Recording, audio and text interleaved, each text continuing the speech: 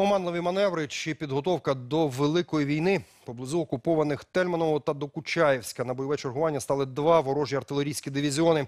Аналітики групи інформаційний спротив говорять про 152-мм гармати МСТА-Б та Д-30. У бік то таки Докучаєвська. Щоденно терористи перекидають тепер боєприпаси. На північних околицях Донецька наші розвідники помітили нові самохідні артустановки «Акація» та ворожу бронегрупу з танками та БТРами.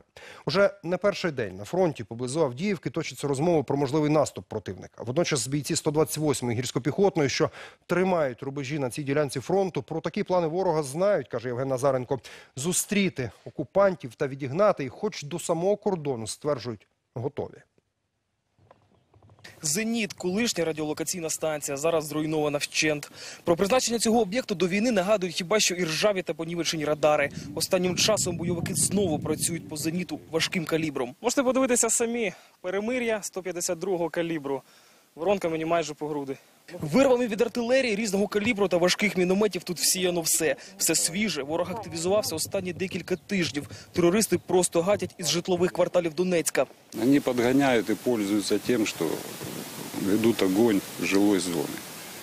То есть даже при желании, при туда.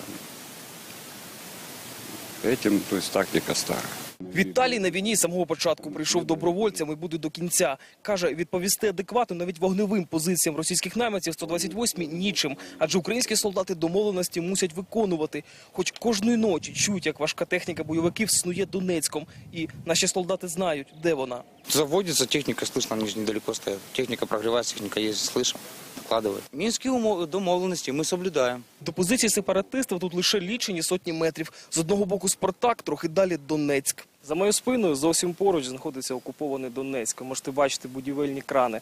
Колись до війни тут хотіли побудувати нове житло для українців. І тепер все будівництво зупинено. А в тих висотках знаходяться коригувальники терористів. Нещодавно з'явилася інформація, що терористи готують наступ на Авдіївку. Зеніт, Шахтабутівка та Промка це одні з перших позицій, які стануть на шляху ворога.